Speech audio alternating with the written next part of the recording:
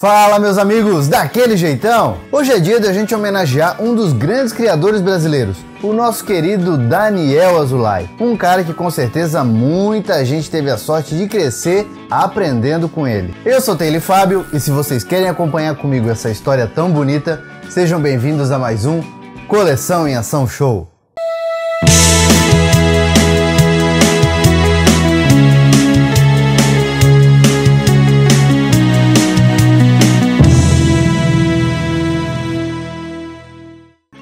Ano passado eu contei aqui no canal a história do Eli Barbosa e suas incríveis criações. O pessoal curtiu demais o vídeo, já que puderam relembrar não a história do Eli Barbosa, mas de todas as criações nacionais dele. E nos comentários, muita gente me pediu um vídeo parecido, só que contando a história do Daniel Azulay, outro grande criador brasileiro e que fez muito sucesso aqui nos anos 80. E claro, né, eu gostava bastante do programa do Daniel Azulay e também das histórias em quadrinhos da turma do Lambi Lambi. E aí eu prometi pra galera que eu ia fazer esse programa. Só que infelizmente eu fui deixando o vídeo para depois, para depois. E alguns dias, né, a gente acabou recebendo a triste notícia da partida do nosso querido Daniel Azulay. Então, pessoal, esse vídeo não é para falar da partida dele. Pelo contrário, é para comemorar a vida dele e pra gente relembrar o quanto a gente foi privilegiado por ter crescido com as histórias desse cara. E o Daniel Azulay nasceu em 30 de maio de 1947 na cidade do Rio de Janeiro. Era autodidata e descobriu a paixão por desenhar ainda pequeno. E segundo ele mesmo falou em entrevistas, com 4 ou 5 anos de idade, ele já rabiscava de tudo e adorava criar personagens. E até mesmo na escola, né, na hora do recreio, enquanto o resto da criançada ia correndo para brincar e tal, o pequeno Daniel não, ficava lá na sala desenhando, rabiscando, criando novos universos e novos personagens. Aliás, ele estudou na escola britânica British School, no Rio de Janeiro, onde ele foi alfabetizado primeiro em inglês, para só depois aprender a escrever na nossa língua nativa, o português. E a rigidez nos estudos era cortesia do pai dele, um cara, né, muito exigente e muito preocupado com a educação dos filhos. Inclusive, foi nessa escola inglesa que o pequeno Daniel teve seu primeiro contato com algodão doce, uma das marcas registradas da sua carreira. Já que sempre ao sair da escola encontrava um carrinho de algodão doce que chamava a atenção dele. E aí o tempo passou e quando chegou a época dele ir para a faculdade, por imposição do pai, ele teve que ficar cinco anos cursando direito. E apesar de ter dado do pai o gosto pela leitura, ele achava tedioso demais as infinitas aulas de faculdade para passar o tempo. E acabou se dedicando mais ao desenho ainda, aprimorando o traço enquanto desenhava o ratinho Mickey Mouse, passando pelo Pato Donald e outros animais falantes e, claro, desenhando também super-heróis clássicos como Superman e um dos preferidos do Daniel, o Capitão Marvel. Todos objetos de leitura nos gibis da infância e da adolescência dele. E aí, com o término da faculdade, o Daniel Azulay pôde finalmente se dedicar às artes e aos quadrinhos. E entre 1968 e 1970, ele participou de vários eventos na Bélgica, no Canadá e também na Itália. E também foi entre 1968 e 1969 que ele teve charges e desenhos publicados no famoso O Pasquim, junto com mestres como Ziraldo, Jaguar e Miguel Paiva. Enquanto no jornal carioca Correio do Amanhã surgia as primeiras tirinhas do Daniel, o super-herói psicodélico e anarquista Capitão Cipó, alter ego do locutor Irineu Pedrosa. E essas tirinhas do Capitão Cipó eram um material que continha bastante crítica social e inclusive críticas aos super-heróis norte-americanos. E assim, ó, foi uma das poucas vezes em que a gente pôde presenciar material do Daniel Azulay que não era voltado para o público infantil. Já que em 1973, durante uma viagem para Israel, ele encontrou inspiração para criar o álbum Jerusalém, álbum esse que rendeu alguns prêmios para Daniel Azulay aqui no Brasil e também em outros países do mundo. E entre uma publicação e outra, o Daniel Azulay também era um dos responsáveis pelas vinhetas do Jornal Nacional, isso de 1972 até 1974. Jornal Nacional.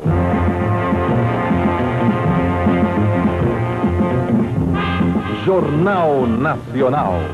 Três anos de liderança integrando o Brasil através da notícia. E em 1975 chegaria ao mundo a maior criação dele, a Turma do Lambi Lambi, uma turminha que misturava animais falantes com personagens humanos, tudo numa boa. E faziam parte da turma do Lambi Lambi. O Pita, um moleque muito curioso que sonhava em ser um grande mágico, Gilda, uma vaca loura bem desastrada, mas que tinha um vozeirão e fazia as vezes de cantora da turma, Piperote, um pequeno domador de leões que, por ironia, tinha medo de cachorro, olha só isso, e Tristinho, um malabarista de circo da turma do Lambi Lambi, já que circo era uma das paixões de Daniel Azulay na vida real. Tinha também a Damiana, uma menina que era especialista em confusões, mas que em contrapartida não media esforços para ajudar os outros. O professor Pirajá, né, que era um sábio conhecedor de tudo da turminha, e Ritinha, a comilona e empreendedora da galera. E não dá para esquecer da Chicória, uma simpática galinha que era cozinheira e também secretária do professor Pirajá. E foi justamente com a turma do Lambi Lambi que o Daniel Azulay conseguiu um grande objetivo dele, que era fazer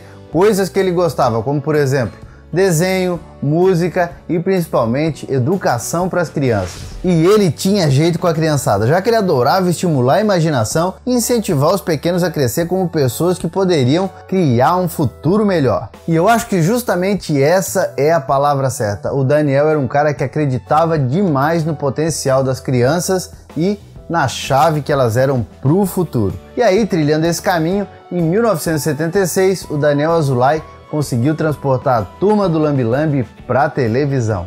Com o lançamento do programa A Turma do Lambi Lambi, que primeiro chegou pela TV educativa, que naquele tempo só tinha no Rio de Janeiro, né? E depois alcançando a rede nacional através da Band, que nessa época ainda se chamava Rede Bandeirantes.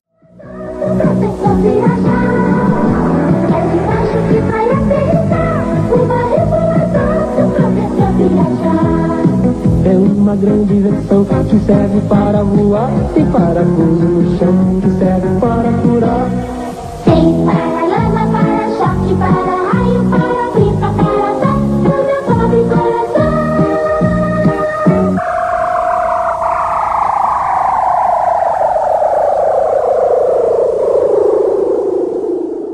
E o programa foi um verdadeiro sucesso durando de 1976 a 1986.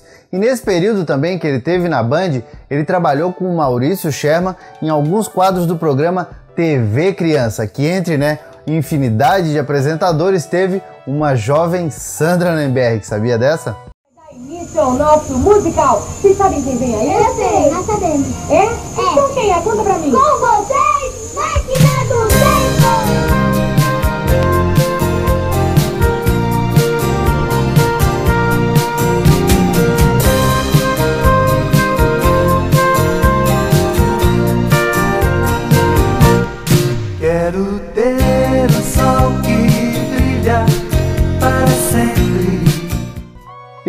próprio Daniel gostava de falar, o programa da Turma do Lambi Lambi fazia sucesso porque ele era educativo sem ser didático. E olha, eu lembro muito bem desse programa, eu lembro que eu adorava ver todas as dicas do Daniel, né, a respeito de desenhar ou então criar brinquedos com coisas que a gente encontrava dentro de casa, era muito legal. Como eu sempre gostei de desenhar e quando eu fiquei um pouquinho maior, né, eu até me arrisquei pelo mundo das histórias em quadrinhos, o Daniel para mim parecia um irmão mais velho ensinando tudo que a gente precisava saber. E quem lembra da turma do Lambi Lambi sabe muito bem, o programa do Daniel Azulay era muito legal porque é o seguinte, ele era educativo, né, a criançada aprendia, mas assim, ó, sem deixar de ser divertido. Dá uma olhadinha nesse quadro aí para ver se vocês não concordam comigo. Chegou a hora do pincel mágico. E atenção, quero ver se você vai adivinhar a profissão que vai aparecer no nosso pincel mágico de hoje. Posso começar? Lá vou eu, atenção. Ó, aqui, aqui já dá para adivinhar. Ó, olha aqui, olha aqui, já, já tá aparecendo. Ah, mas eu não sei, eh, será que é bombeiro? Não, bombeiro não, bombeiro. Não, quem falou bombeiro ainda não acertou não. Mas, deixa eu ver. Será que é um jornaleiro? Puxa, ele tá sorridente. E outra coisa que eu não consigo esquecer também é que ele ensinava a gente a fazer um monte de brincadeiras com papel. Tipo umas dobraduras que a gente fazia questão de aprender só para mostrar para as outras crianças do colégio para tirar aquela onda. E também com a turma do Lambi Lambi, o Daniel Azulay conseguiu alcançar várias mídias. E ele mesmo acabou se tornando um personagem da turminha. E outra coisa, né? Quem é que não lembra das famosas músicas do Daniel Azulay junto com a galera do Lambi Lambi, hein? Eram demais.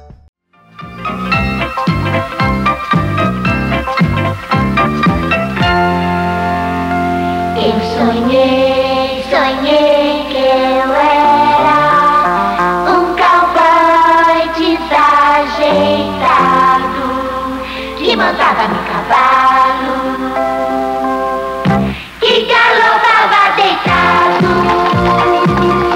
Com meu dedo no gatilho, rebentei minha pistola, disparando grande milho que nem chiclete de bola. Agora você, xerife, aclamado na cidade, compreendeu quem for partir numa cela de verdade.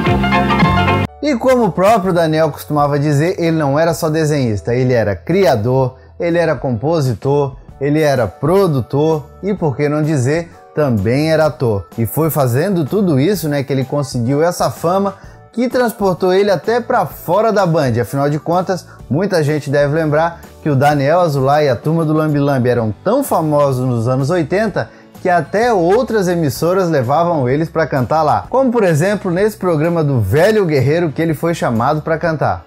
Daniel Azulay.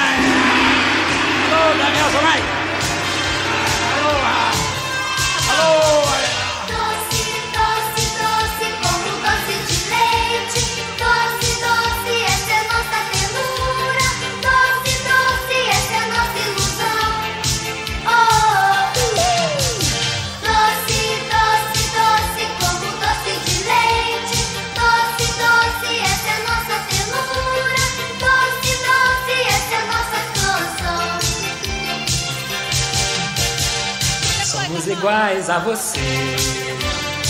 Vamos atrás de uma ilusão. Queremos um mundo melhor!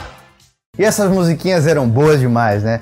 Ou vai dizer que se você escutar a música Algodão Doce, já não vem ó, ah, aquele cheiro de infância no ar. Daniel lançou diversos álbuns, não foi um nem dois, foram vários álbuns em formato LP e que posteriormente viraram CD e todos eles foram sucesso de venda. E como eu falei pra vocês, né, o sucesso da turma do Azulay era tão grande, era tão grande que até no programa dos Trapalhões ele foi parar. Uh, isso é uma bola de cristal, é? Não, a naftalina é grande. Escuta, quer saber do meu futuro? Você pode ler minha mão? Tá. Na sua que mão você tá eu vendo? vejo uma nota de 100 cruzado. Eu sou bem. Aqui. Ué. Ah, é truque, né? Desaparecer, né? Eu também sou bom de truque.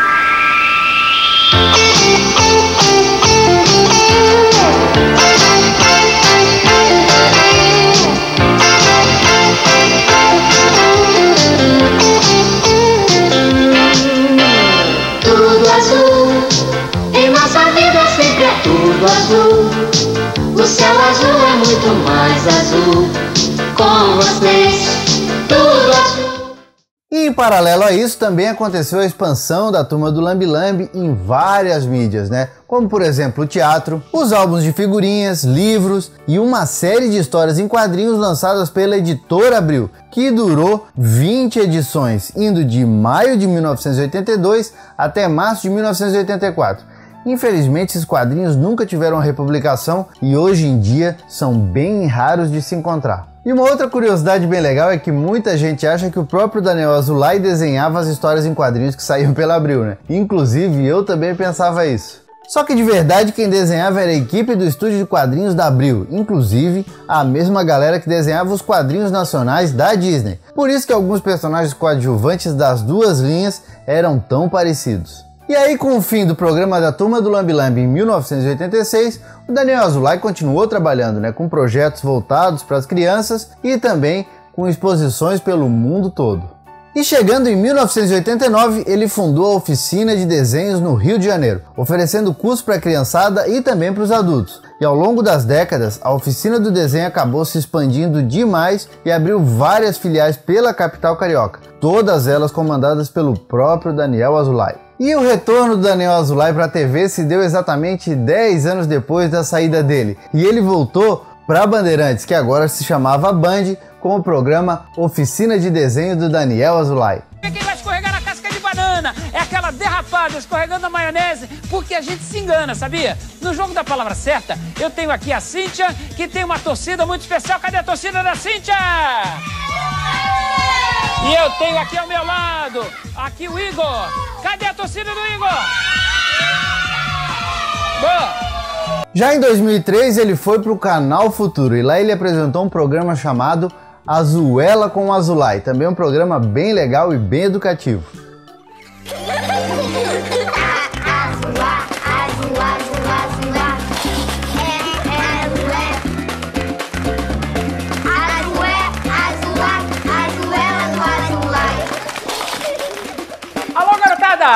Do Azulay está começando! Tá todo mundo pronto aí para as brincadeiras? Ei, oi, que foi? Azulinho? Ó, ó, rapaz! Que... E vocês acham que a turma do Lambi Lambi tava com o Daniel nessa empreitada? É claro que eles estavam, né? Na terceira geração de crianças que o Daniel estava ensinando a desenhar, lá estava a turma do Lambi Lambi. Só que dessa vez eles não eram mais adultos, né? Vestidos com fantasia. Agora eles eram criados por computação gráfica. Professor! Professor Pirajá, o senhor tá me ouvindo? A gente quer fazer uma televisão pro Azulinho. E a... Já escutei tudo com o meu super receptor de chamadas e pesquisei nos livros a fim de descobrir uma TV bem legal para você, Azulinho. Ah, obrigado, professor. Eu sabia que o senhor viria com uma boa ideia. Já entre 2006 e 2007, o Daniel Azulay também contribuiu para o canal pago TV Ratimbum, seja com animações ou mesmo com mais uma vez o retorno dos queridos Lambi Lambi. Já em 2016, o multitarefas Daniel, além de cuidar das oficinas de desenho que ele tinha no Rio de Janeiro, ele também fez o quê? Criou um canal para o YouTube e ele aproveitou essa plataforma para ensinar as crianças da atualidade a desenhar e a criar brinquedos do jeito que só ele sabia fazer.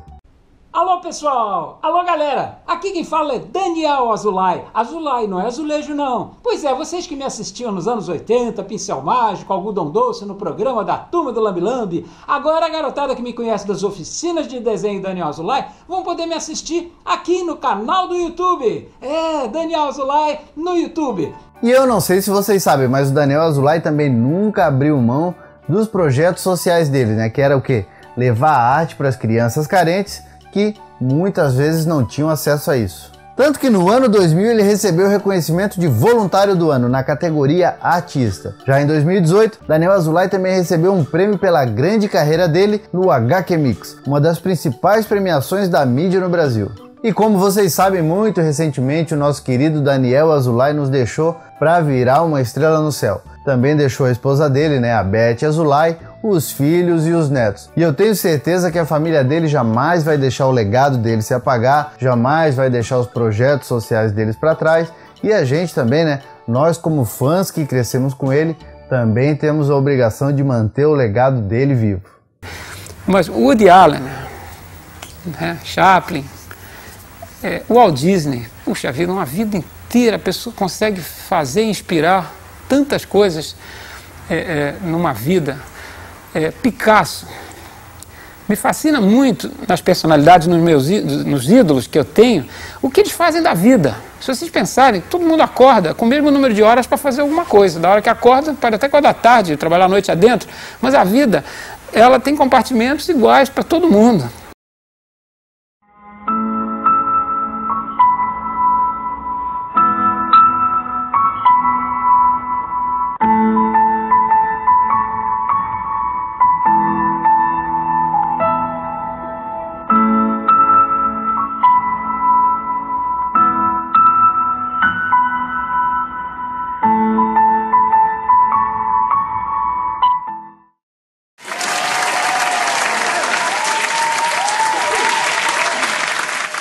Meus amigos, por enquanto era isso. Eu espero que vocês tenham gostado dessa homenagem para o nosso querido Daniel Azulay e que também tenham aproveitado para relembrar de momentos da infância de vocês. Eu tenho certeza esse cara fez parte. Então vamos fazer o seguinte: se você está chegando agora aqui no canal e ainda não está inscrito, se inscreve aqui, amigão, e aproveita para badalar o sininho, porque assim a nossa viagem para o passado é garantida toda semana. E se gostou do programa, se gostou dessa homenagem, aproveita e deixa aquele like, felpudo. E já faz o seguinte, vai lá nas redes sociais, né? Qualquer uma que você tenha, tenho certeza que tem um Coleção em Ação Show. Se inscreve lá e acompanha a gente também. E também tem o nosso site www.coleçãoemação.com.br, especializado em coleções de brinquedos dos anos 80. E toda segunda-feira eu também tô lá com a galera do MachineCast, no podcast mais maluco, porém mais nostálgico da podosfera. Tô esperando vocês lá. Por enquanto, eu vou deixando meu abraço, dizendo que a gente se vê no próximo vídeo e valeu! E esses são os membros Felpudo Gold do canal. Muito obrigado por acreditarem e ajudarem a preservar a memória do passado. E aproveitando, vem ser um Felpudo Gold você também. Aperta aqui no botão Seja Membro para mais informações de como ajudar o canal.